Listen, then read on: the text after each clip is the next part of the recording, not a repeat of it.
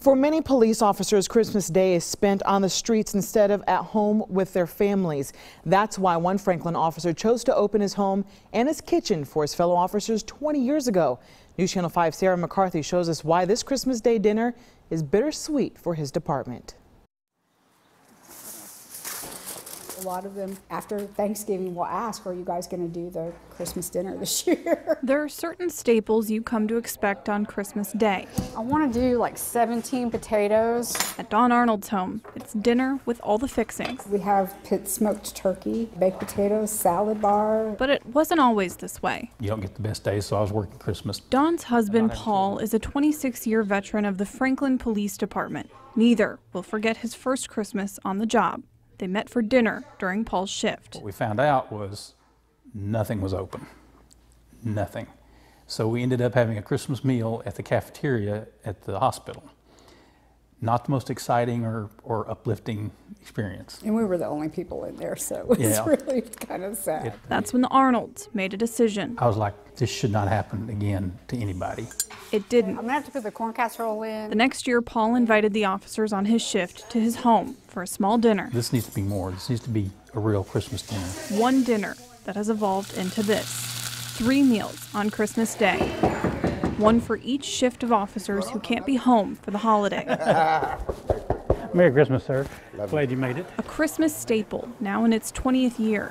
Two decades of promises that no one will eat alone on this day. Come on. But this year is different than the others. If you believe my doctors, is I probably won't be around next year. Paul is battling cancer for the third time.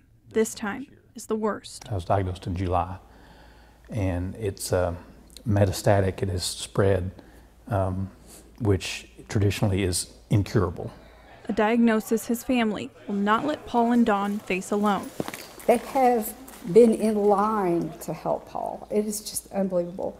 They've taken him to his cancer treatment appointments and um, stopped by the house to see him. It's just been, like you mentioned, it was a family. It's very much a family, and we really appreciate it. This will be the final Christmas Day dinner Paul and Dawn will host. But today, We miss anybody?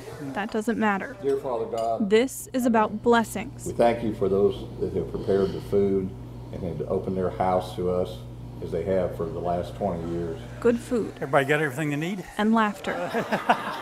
this is about the men and women in uniform who became family. Hopefully that they uh, they got a good warm meal on uh, Christmas Day, and that it will inspire more brotherhood and connection amongst our police family, if you will. And uh, if they can take that away, then then we've done great. A family that started with one man who has become a staple for so many. keeping you in my prayers. All right, thanks. Love you, Appreciate buddy. it. You. In Franklin, Sarah McCarthy, News Channel 5. Paul is continuing treatment to fight his cancer diagnosis. He would like another officer or organization to continue his Christmas dinner tradition next year. He and Dawn are hopeful they'll both be able to attend.